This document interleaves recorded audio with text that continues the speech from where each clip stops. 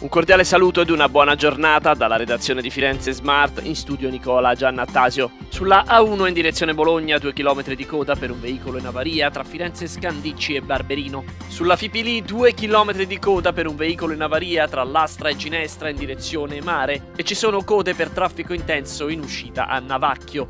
Sull'accordo Siena-Firenze per lavori code a tratti in entrambe le direzioni tra San Casciano e l'allacciamento per la 1 di Firenze in Pruneta. Sulla A12 per lavori fino al 21 marzo è chiuso lo svincolo di Rosignano Marittimo in entrata e uscita in direzione direzione sud. Fino a metà febbraio la statale 1 Aurelia sarà chiusa a Pisa in corrispondenza del bivio per Coltano per lavori di ricostruzione del cavalcavia. Muoversi Toscana è un servizio realizzato in collaborazione con Regione Toscana, Città Metropolitana di Firenze e Comune di Firenze. Buon viaggio!